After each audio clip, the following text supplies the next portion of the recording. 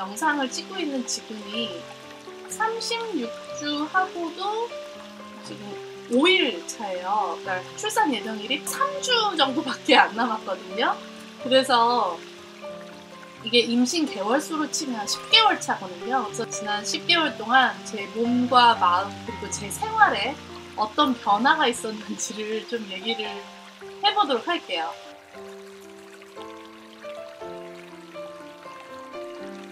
4주차에 어, 임신이 되고 나서 아랫배가 콕콕콕 하는 느낌이 들더라고요. 돌리고 노골노골하고 5주차가 됐을 때는 임신 기간 내내 오른쪽 등이 아파서 고민이 많았는데 막달인 지금은 괜찮고요.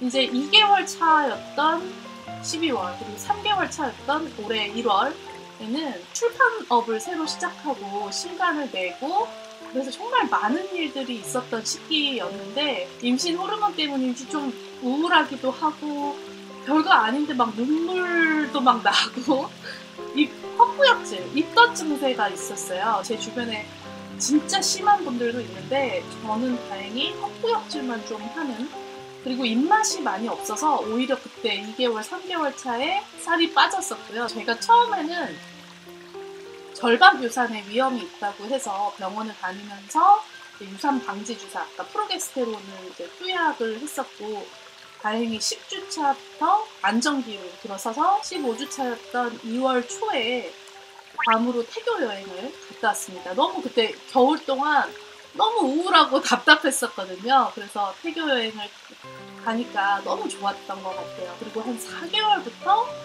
몸에서 커피를 거부했어요. 제가 이미 디카페인 커피만 마시고 있었음에도 불구하고 마시면 막 헛구역질 나오고 커피뿐만 아니라 너무 단 거 이런 거 먹으면 막 헛구역질해요. 또 이상하게도 우유를 제가 그렇게 원래 막 좋아하질 않았는데 임신하고 나서 우유를 많이 마시게 됐어요.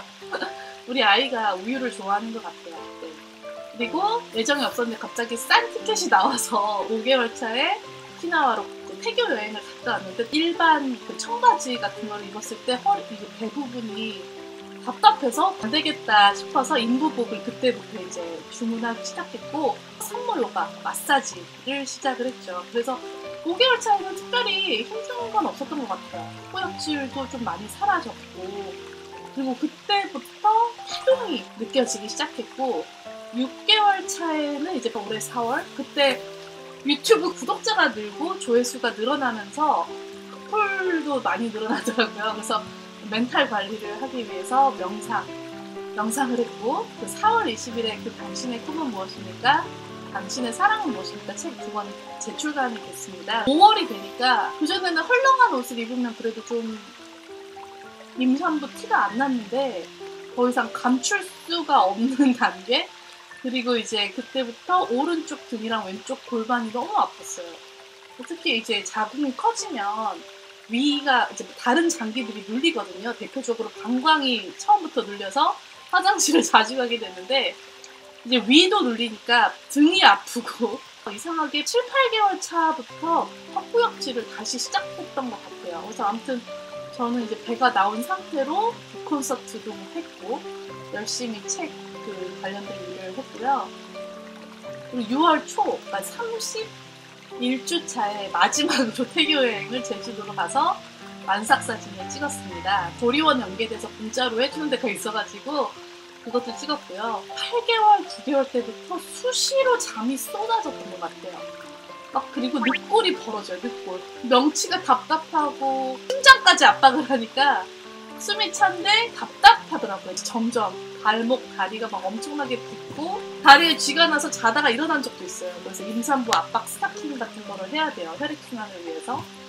그리고 이제 누가 봐도 배가 상했고 보건소에서 뭐 그런 육, 그 출산 육아 관련한 수업도 듣고 출산용품 준비도 하고 유튜브로 뭐 여러 다양한 육아 영상 같은 것도 봤고요. 그리고 이제 이번 달, 그러니까 마지막 달이죠. 출산을 5주 앞둔 상태에서 baby shower를 했고요. 지인들 모아서.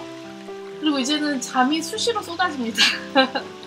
낮잠을 하루에 한두 번은 자는 것 같아요. 출산 휴가 기간에 소설을 쓰려고 했는데 태교에도 좀 안 좋은 내용들이 있고 컴퓨터 앞에 앉으면 헛구역질이 나가지고 오래 못 앉아 있어요. 그래서 아 그래서 좀 멍 때리는 시간들이 많고 이제 36주 차였던 이번 주에 출산을 4주 앞두고 마지막 강연을 끝냈어요. 정말 이제 출산 휴가에 들어갑니다. 그리고 이번 달에는 남편이랑 그런 남아주 호흡 같은 것도 배우고 출산 가방도 싸고 뭐 이렇게 저렇게 준비를 하고 있어요. 네. 그리고 저는 뭐 술 담배를 원래 안 했고 혹시 몰라서 임신 기간 내내 극장도 안 갔어요. 목욕탕도 한 번도 안 가고 집에서 때르메스 장갑으로 버티고 살았고요. 그리고 이제 배가 부를수록 좀 어, 사람이 많거나 혼잡한 데를 안 가게 되더라고요. 한번 9호선을 출퇴근 시간에 탔다가 진짜 사람들한테 너무 치여가지고 그때부터는 웬만하면 출퇴근 시간을 피해서 대중교통을 이용을 해요. 배가 눌릴까봐 걱정이 되거든요. 어, 임산부 배려석이 있지만 배려를 정말 해주는 경우는 10명에 3명 정도밖에 안 되더라고요. 그래서 그냥 아예 출퇴근 시간을 피하거나 그러니까 아예 미리 일찍 가거나 차가 막히더라도 그 대중교통 말고 자동차로 이동을 하게 되는데 진짜 그런 면에서 직장 우리 만삭 때까지 직장 다니는 엄마들 임산부들 진짜 respect 진짜 대단하실 것 같아요.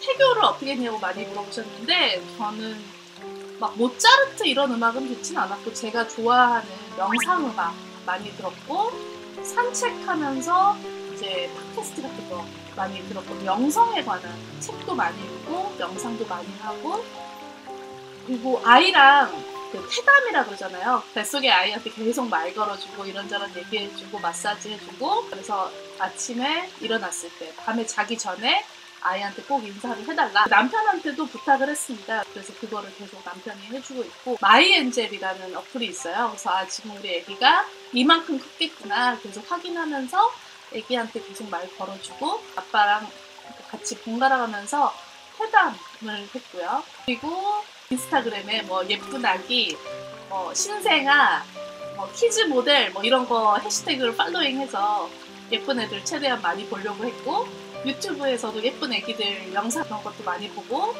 어, 웹툰 중에 아기 낳는 만화 유부녀의 탄생이라는 웹툰이 있는데 그걸 보면서 공부도 많이 하고요.